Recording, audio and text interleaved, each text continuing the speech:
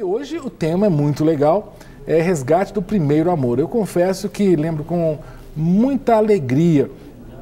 Tive o privilégio uh, de ser apresentado a Cristo quando tinha 18 anos. Eu era militar, estava no exército. E um dia, tirando serviço, tirei serviço com um rapaz que era crente. Ele era o crente da companhia. E passei aquela noite conversando com ele e tudo, e ele me falou de Jesus. E daí ganhei uma Bíblia, daí me levou, me convidou para ir a um acampamento da igreja e graças a Deus ali eu fui apresentado a Cristo e tive um encontro com ele. Gente, era muito bom, era muito bom esse tempo com Cristo. Eu queria orar, estava a sede, tava, a Bíblia, eu não conhecia a Bíblia. Né? Isso a gente chama de primeiro amor. Mas esse primeiro amor pode ser perdido. E vamos falar sobre isso, sobre esse primeiro amor, sobre a perda, se é possível resgatar. E para os pastores Carlos e Juraci falarem, vamos primeiro pedir uma pergunta, que aí eles vão responder a pergunta e começamos assim o nosso bate-papo. Eu sou o Matheus de Belo Horizonte, eu tenho uma, uma pergunta, por que, que as pessoas perdem o primeiro amor? Pois é, o Matheus falou. Olha, eu confesso a vocês que eu acho que eu não perdi meu primeiro amor, não. né? Tô nessa toada já há quase 40 anos, né? Mas eu conheço muita gente que deu uma esfriada. A gente fala esfriar na fé, né? Por Sim. que, pastor Juraci? E aí, pastor Carlos, é bate-papo. Pode entrar na conversa aí. Tá. Ele perguntou o motivo de se perder o primeiro amor. Por que se perde? A primeira coisa é entender o que, que é o primeiro amor, que é esse fervor, esse fogo que te capacita a colocar em primeiro lugar Cristo. Isso. O reino de Deus se torna a sua prioridade você abre mão das outras coisas em, em, detrimento do reino de Deus. É como uma pérola de grande valor. Você vende tudo e adquire essa pérola. E à medida que a gente vai caminhando, é, outras coisas vão se achegando próximo de nós novamente. E vai tirando a nossa atenção. Perdendo o foco, né? Aí nós começamos a perder o foco, começamos a dividir o nosso espaço, começamos a dividir o nosso tempo. E, um, e, a pergunta dele foi muito interessante. O que leva as pessoas a perder o primeiro amor? Alguns fatores. Um deles, proximidade com o pecado. Romanos 12 fala assim: olha, não se conforme muito com esse mundo, não se amolde muito à sua cultura. Mas será que, que, que por exemplo, eu quero cortar raciocínio, mas eu quero bater tá. papo.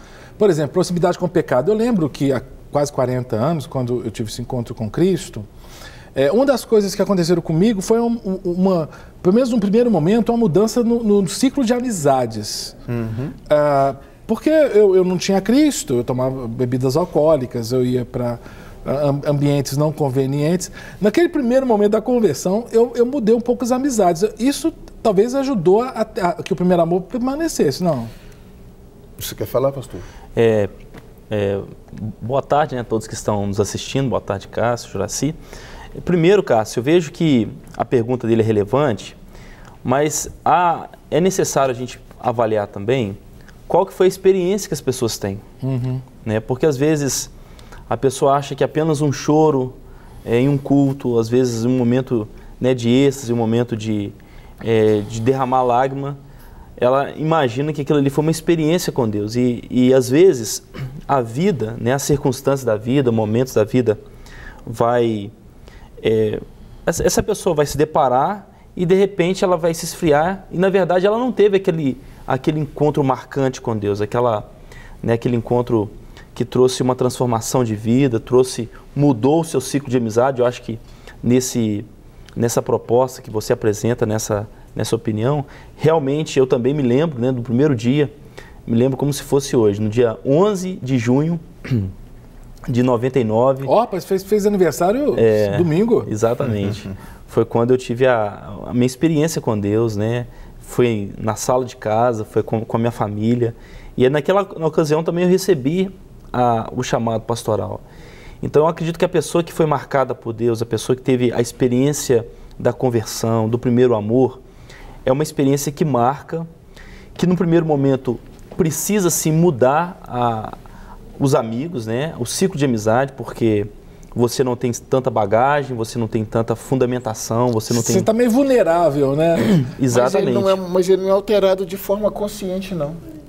É uma capacitação, é do próprio Deus. É, vamos tentar pensar. É, vamos tentar exemplificar de uma maneira, maneira clara.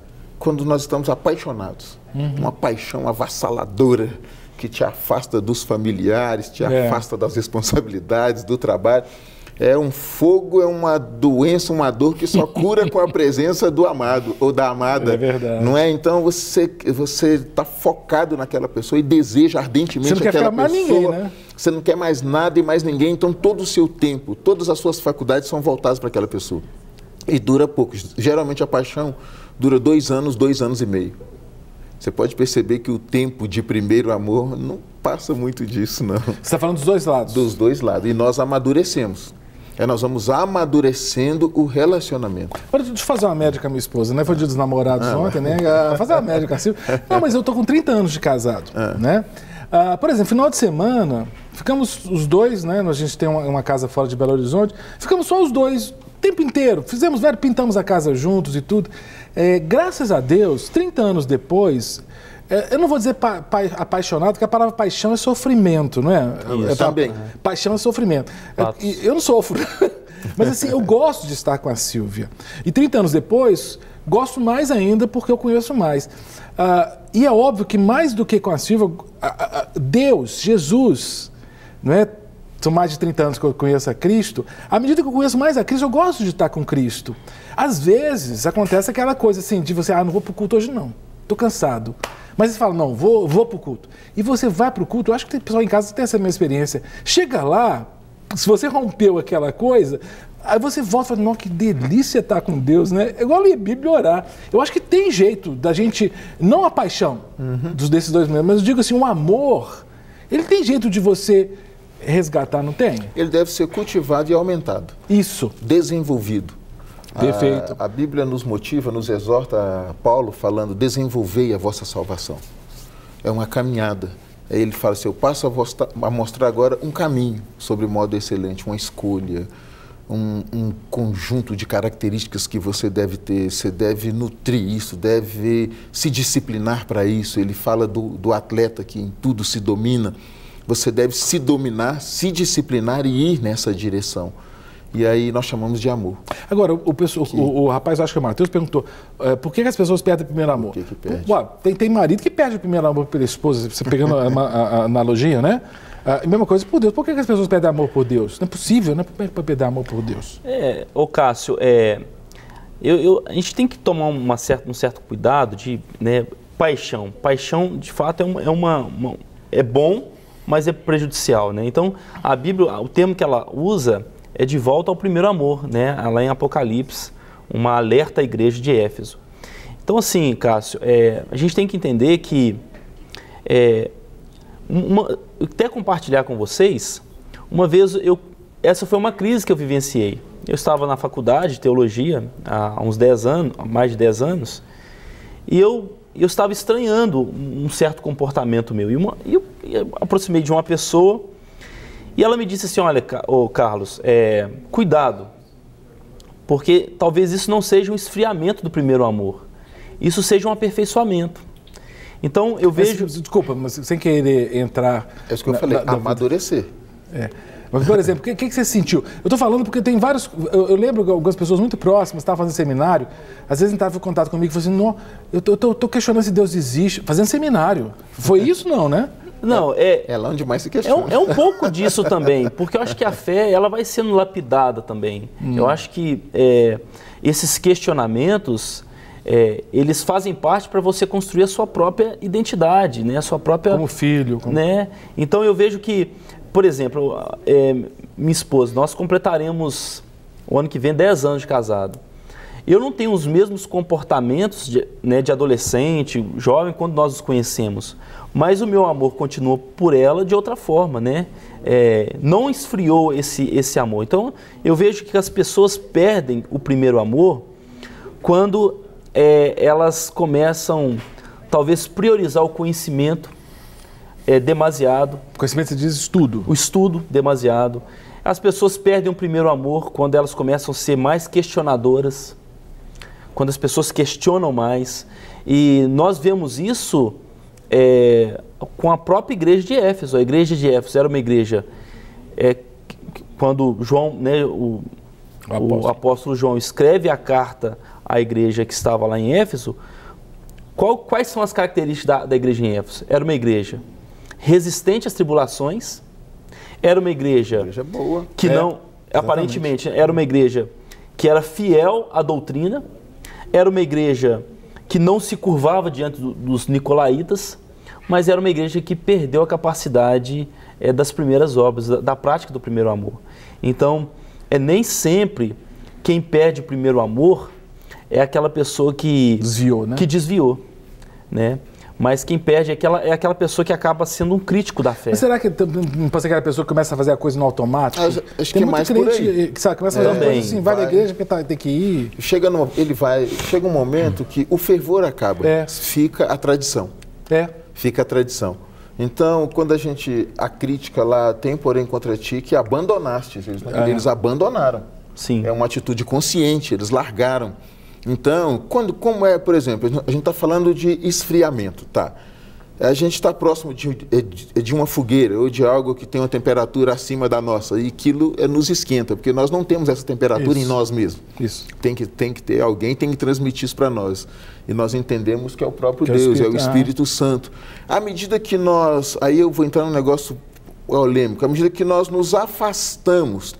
Eu nem sei se eu posso usar essa palavra, que a gente não consegue se afastar. Mas a Bíblia fala em extinguir, não extingais o Espírito. É. Você vai é? entristecendo, você vai tentando- entristecendo, É, você vai tentando- se amoldando às paixões do mundo, você vai ficando cada vez mais mundano, mais carnal, mais permissivo, você vai se tornando mais tolerante à cultura dominante, ao pecado, você fica menos agressivo em relação ao pecado. Isso. E aí automaticamente vai causando um esfriamento. Esse esfriamento ele é caracterizado, você vai orando menos, Isso. lendo menos, você deixa as práticas, Claro. as primeiras obras, né? O Juraci, eu tô Você- pensando- Você vai abandonando essas coisas. E a gente que é pastor, né, Carlos? A gente também tem que dar a mão palmatória de reconhecer que muitas vezes nós, pastores, Claro. entramos no automático. Totalmente. Nós, pastores, acostumamos a pregar, até a, a, a Você ver um orar. negócio interessante? Reunião de pastores. Que é quando a gente se reúne em, em convenções Sim. e tal. Dá, dá o microfone para algum colega orar. Ele fecha o olho, Senhor, nessa noite. tá de dia. Já tá acostumado. Ele tá, ele, ele tá no piloto automático. Ele ora como se fosse à noite. Na igreja, às vezes, acontece isso. Você É. está na escola dominical, dá o microfone para alguém orar. Ô, meu, nós te agradecemos por esse culto nessa noite. E fica olhando assim, olha. Você Já nem pensa o que está falando, Ele nem né? pensa o que está falando, entende? E às vezes no ministério pastoral que nós mais somos mais vulneráveis a essa situação, porque às vezes nós não preparamos o nosso momento devocional para nossa edificação, né, para um relacionamento A com gente Deus. pensa o que vai pregar, né? A gente, a gente já pensa o que vai pregar. A negócio gente, interessante aqui. Outro motivo, falta de profundidade, superficialidade. É. Como a gente se afasta das escrituras, se afasta do devocional, se afasta daquelas disciplinas espirituais É. antigamente arraigadas, nós vamos ficando muito superficial. E aí ele falou, igual Astor Carlos falou, nós os pastores nós corremos o risco. Acho que todo mundo que está no altar em cargo, em uma posição de liderança, por exemplo, os ministérios de louvor, onde a ministração de louvor ela é recheada de jargão. É. Levanta a mão, pula, tira o pé do chão, joga o pé para lá, pula o pé para cá, fala isso, fala aquilo. E alguns pastores que têm essa característica, fala isso, fala aquilo, fala aquilo outro. Assim, meu pai eterno. É, e às e uma mensagem falar, né? recheada de superficialidade, É. muito superficial, então vai gerando um povo superficial e, e um evangelho superficial. Deixa eu colocar para falar em, em povo, né? As pessoas estão mandando muitas mensagens aqui. Por exemplo, a Evanilda de Jardim Piranhas, Rio Grande do Norte. Né? Ela pergunta como voltar ao primeiro amor. Nós já vamos responder porque é uma pergunta também que vem das ruas, tá, o, o Evanilda? Mas eu estou lendo aqui a tua pergunta. A Marlene, que é de Piranga, Minas Gerais, a Carlos e Juraci, quero ver se vocês responderem isso aqui. Me explica uma coisa, por favor. Por que, que tem primeiro amor? Tem um segundo amor? Estão entendendo? É. E aí? Eu tô lembrando de, de uma pessoa que não é o caso dela aqui, mas uma pessoa chegou assim e tava. Ô, gente, pa- tem pastor para tudo, né? Tem um pastor que o pastor tava pregando, né? Ele tava pregando e, e pegou e falou assim: é, Davi era um homem segundo o coração de Deus. Jesus era o primeiro no coração de Deus. Qual é o seu lugar no coração de Deus? Primeiro, segundo, terceiro. Exegese boa, né? Boa, isso aí. Mas o que ela está perguntando é interessante. Teu primeiro amor, qual que é o segundo amor? Tem um segundo Eu- amor ou é o resgate do primeiro? Eu posso dizer, Cássio, que tem o primeiro, tem um segundo, tem um terceiro. O coração de Deus é sempre um coração misericordioso. Uhum. Aquele que se apresenta arrependido, aquele que se, se demonstra quebrantado, Deus o perdoa. Mas a gente tem que lembrar que Deus não quer ser aquele, aquele que apenas perdoa, Ele quer ser aquele que quer curar também. Né? Então a pessoa, é, Deus ele tem um coração perdoador, mas a pessoa tem que entender que ela precisa ser curada às vezes, né? ser restaurada por completo. Né? Se eu pedir perdão a Deus hoje, Ele vai me perdoar com todo o coração. Se durante 30 dias eu pecar e, e eu pedir perdão a Deus com todo o coração, Deus ele vai, me, vai me, me perdoar. Mas Ele quer ser também aquele Deus que vai vir me curar por completo, né? de modo que eu fique livre deste mal, dessa, né, deste pecado que eu venho cometido. Então, eu acredito que há sim o primeiro amor, há o segundo amor, há o terceiro, porque é o coração de Deus que é compreensivo, misericordioso, mas também é, a, um, a, paciência de Deus também tem um, um, certo limite, né? Quando a gente fala de amor, a gente tem, vamos tentar excluir o sentimento, hum. As emoções. Ver o amor como o ágape, como escolha. Uhum. O Senhor falou: aquele que tem os meus mandamentos, os guarda. Esse é uhum. o que me ama. Então, o amor a Deus está muito. Porque nós não. Se você não ama seu irmão que vê, como você vai amar a Deus você nunca viu? Gente, nós nunca vimos Deus. Então, a nossa noção de amor, a palavra amor, até na nossa cultura, ela é muito desgastada. Uhum. Porque Sim. nós amamos tanta coisa, não é? Verdade. Mas tem, tem, tem muito a ver com obediência e separação, santificação. Sim obediência e santificação. Observância à palavra do Senhor. Um padrão de comportamento coerente com a vontade de Deus. Isso, isso não vai, isso vai influenciar, não não estou falando questão de salvação, mas na, na maneira de refletirmos a nossa luz diante dos homens. Veja as vossas boas obras. Então, como voltar ao primeiro amor? Pratica as primeiras obras. Volta à prática das primeiras Volta obras. Volta à prática né? das primeiras obras. Querido pastor Juraci, pastor Carlos, nós vamos fazer, ouvir mais uma pergunta que vem das ruas, mas vou pedir para vocês segurarem a resposta, uhum. tá? Para a gente tomar uma aguinha aqui. Vamos ouvir a pergunta e depois a gente vai para o intervalo. Vamos lá. Sou Vanilde de Belo Horizonte e gostaria de saber o que a gente deve fazer para poder voltar ao primeiro amor. Bom, pastor Juraci já deu uma dica aqui, voltar à prática das primeiras obras. Mas vamos ver mais estratégias para voltar esse primeiro amor, mas vamos ver depois do intervalo. Vamos tomar uma aguinha aqui e já já voltamos com o nosso bate-papo. De volta com o nosso bate-papo, hoje batendo papo sobre primeiro amor. Eu estou aqui com o pastor Carlos Henrique, pastor Juraci Miranda, conversando sobre esse momento tão importante da vida de uma pessoa e também sobre a possibilidade de perda dessa sensação ou desse, desse amor e como fazer para resgatar. Nós tivemos uma pergunta que veio das ruas, inclusive me parece que é a mesma pergunta, se não estou enganado, deixa eu voltar aqui no meu celular, da Marlene de Piranga, né? Não, desculpa, da Evanilda de, do Rio Grande do Norte. Como voltar ao primeiro amor? Como voltar? Não é perda, é abandono. Sim, qual é a diferença? É intencional. Você perde involuntário. Você não sabe que perdeu, onde perdeu, como perdeu, amor. perdi. Você não é assim. É, a, o texto se refere a abandono. Você deixou o seu primeiro amor.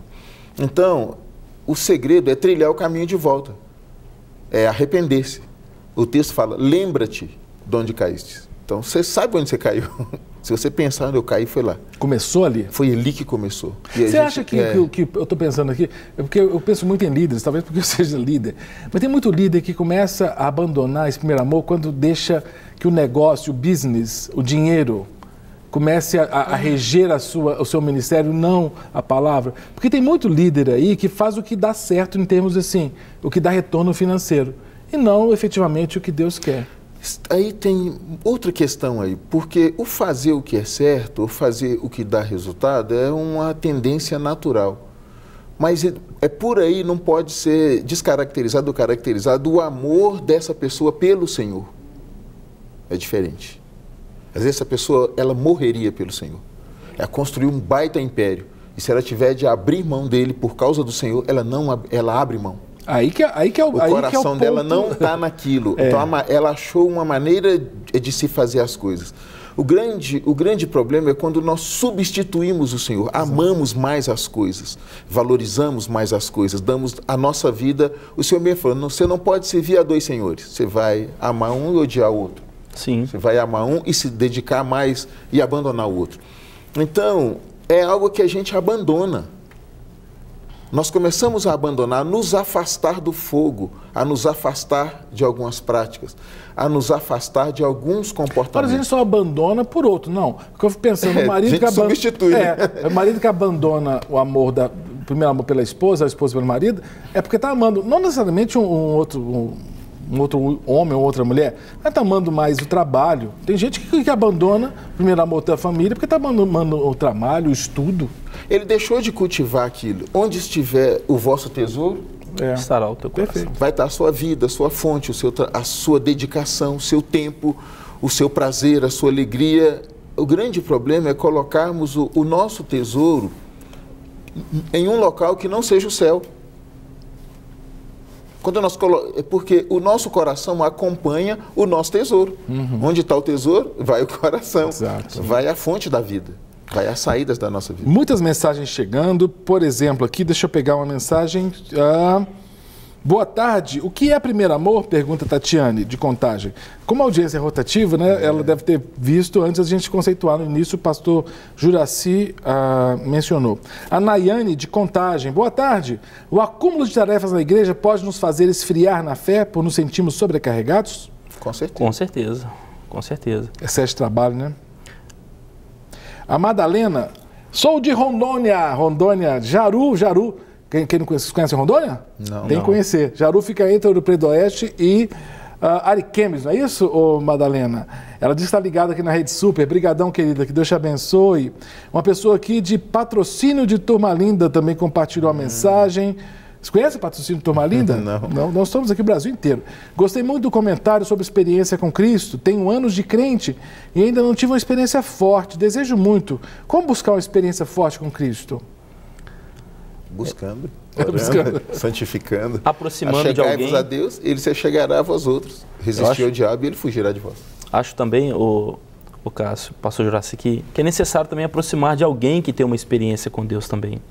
né? E, e às vezes a própria, esse- esse próprio desejo aí, é, demonstrado né, que a pessoa há um desejo de, de ter uma experiência com Deus, é o próprio Deus mostrando para ela a necessidade de, de entender isso. Né? E às vezes a pessoa vai entender isso colocando alguém né, na sua vida, alguém que vai instruí-la, alguém que vai É um discipulá-la. discipulado, né? Com certeza. Eu tenho, eu tenho- eu tenho experiência nesse sentido, assim, como, eh, sendo- como discípulo e como discipulador. Às vezes Deus coloca a gente na vida da pessoa para dar um gás nela, né? Sabe? Pra dar um estímulo, né? Sim. Vamos embora, vai dar certo, né? Fala que o ferro com ferro se afia e o homem com o seu próximo, né? com o seu companheiro. Uhum. É, é melhor que sejam dois, né? A Bíblia fala. É, Que tem melhor eles- paga do seu trabalho. Ele tem, e tem melhor paga. Se um cair, o outro levanta, eles se aque- aquecerão. Não é? Então, até o aquecimento da fé, tudo tem a ver com comunhão. O grande problema do esfriamento é chamado afastamento. Isso. As pessoas se afastam da comunhão, se afastam da fé, se afastam da igreja, se afastam lá da comunidade delas. Imediatamente elas vão se E é esfriar. interessante que o próprio Jesus, na- em- no Evangelho é, que escreveu João, ele diz: Olha, nisto conhecereis que sois meus discípulos, se tiverdes amor uns com os outros. Né? Se, tiver, se tiver essa aproximação, esse relacionamento. Gostar de estar junto do povo de Deus, né? Isso.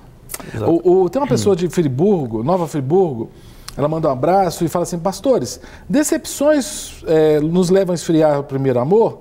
Ah, meu coração cansei de estar com Jesus, mas não tenho forças para de orar.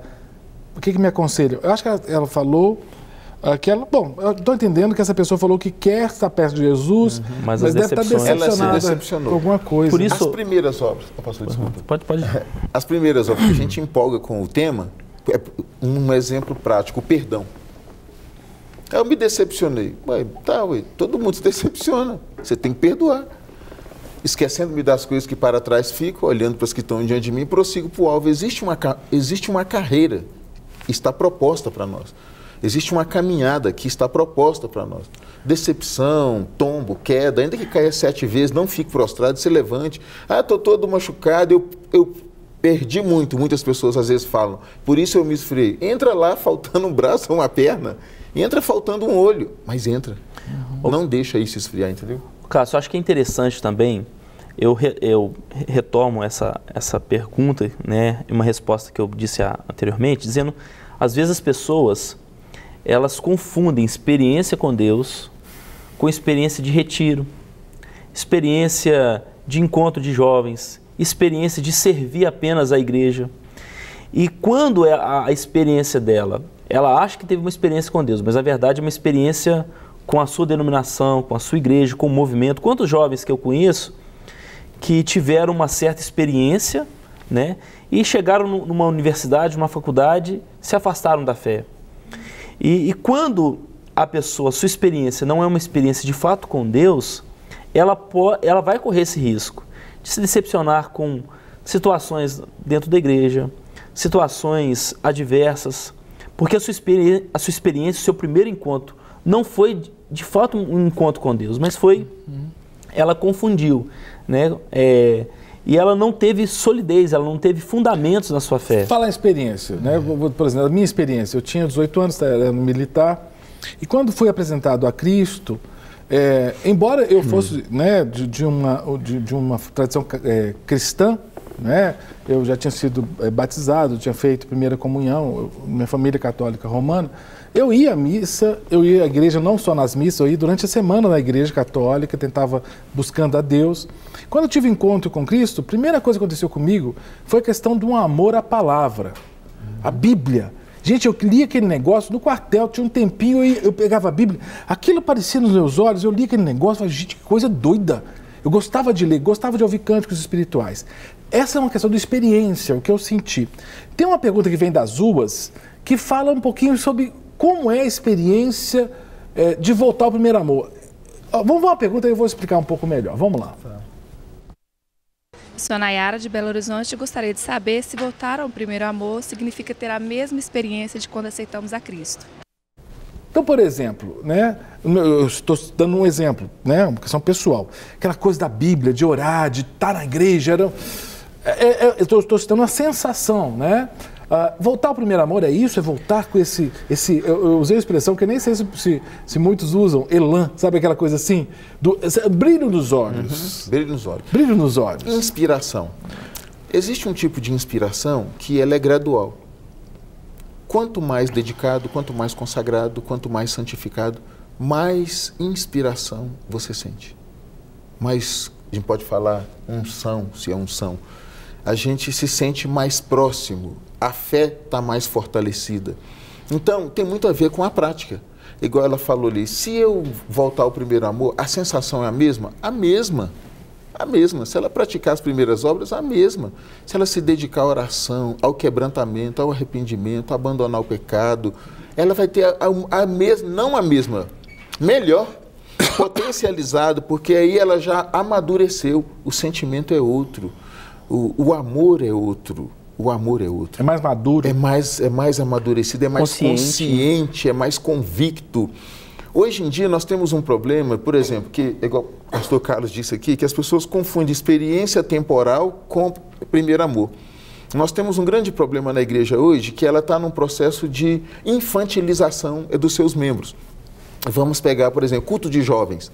Culto de jovens é, é um processo de infantilização, uma experiência sensorial muito forte, onde leva as pessoas a pularem, a gritar, tem que manter os jovens ativos o tempo todo, tem que ter um negócio motivado para manter os jovens sempre em constante funcionamento. E as pessoas falam assim, nossa, tem que ter um culto, um negócio agitado para os jovens. Isso é uma presença de Deus. A gente põe isso ali, um negócio, uma agitação para mantê-los agitados, de repente a gente para aquilo, trava eles para conseguir captar 30 minutos deles para julgar dentro deles uma palavra.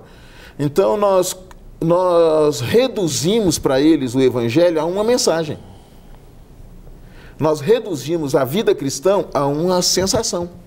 Nós reduzimos o andar com Cristo a um culto eufórico. Uma canção. E uma canção. E tiramos as disciplinas espirituais, o perdão, o caminhada. A caminhada cristã é comparada a uma maratona, não uma corrida de 100 metros. É.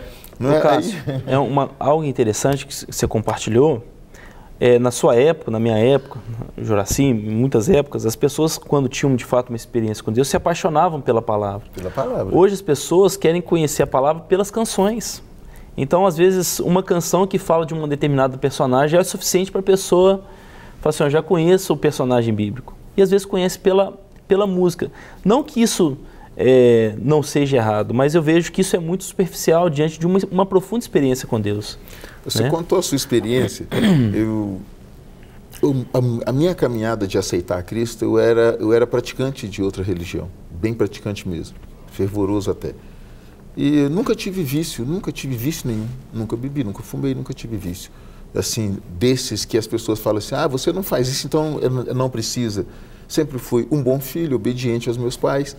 E um dia eu, eu trabalhava em construtora e fui almoçar e Deus usou essa pessoa, era a secretária. Se ela estiver me ouvindo, eu agradeço muito a ela. Aleluia. Isabel é o nome dela. Ela, eu fiz assim, ela falou, é por que, que você fez isso? Eu falei, eu estou agradecendo o alimento, estou abençoando, é a minha prática, você sabe. Ela falou, deixa de ser bobo, isso não tem nada a ver. E, gente, eu apelei na hora, eu falei, você é doida, menina? Sem delicada, sem educação, como, como que você faz um negócio desse? Ela falou, deixa de ser bobo, eu não sei te explicar por que não, chega lá eu te dou uma Bíblia de presente, vai ler a Bíblia. falou, desse jeito comigo, eu fiquei irritado com aquilo, e eu caiu a ficha, gente, eu nunca li a Bíblia. Que coisa, né? Cheguei no escritório, ela me deu uma Bíblia de presente, falei, eu vou ler e vou te provar que você está errada. Para quê? Comecei Mexeu com fogo. Mas eu comecei a ler aquela Bíblia, foi explodindo dentro é, de mim. Impressionante. As coisas assim, foi queimando, eu, eu, eu não tinha sossego. E eu lia, eu li umas cinco ou seis vezes, de frente para trás e de trás para frente. E tudo ficava decorado aqui na minha cabeça. Aí eu falei, eu preciso aceitar Jesus. E eu fui procurar uma igreja para aceitar Jesus. E aí eu cheguei numa igreja, em março de 1992, e entreguei minha vida para Jesus. E a partir de então eu não parei mais de ler, de amar a palavra. Assim, é um fogo, é algo que te. Você quer conhecer o Senhor, você fica você é apaixonado pelo Senhor se você anseia conhecer e viver aquilo. Então, é um. E pensa no tempo inteiro, o né? Tempo eu, todo, eu, comparo assim, muito esse primeiro amor com Cristo todo. com, para quem né, é, é casado. Você ou, abre mão das outras coisas. É, você fica o tempo inteiro mão. pensando. No caso do, do, da, da, do amor entre homem e mulher, você fica pensando o tempo inteiro na sua esposa claro. ou na sua namorada. É, é uma coisa, eu estou fazendo comparações entre dois tipos de amor. É. Com Deus é muito maior isso ainda, muito mais intenso, invade, né? muito mais intenso, né? É interessante, Cássio, eu sei que há muitas pessoas que estão nos ouvindo é, neste momento que por alguma circunstância, alguma razão, abandonou, né? Deixou é, esse coração, essa prática se esfriar. E, e, e às vezes é, o diabo ele coloca na, no coração dessas pessoas que não há perdão para o pecado delas.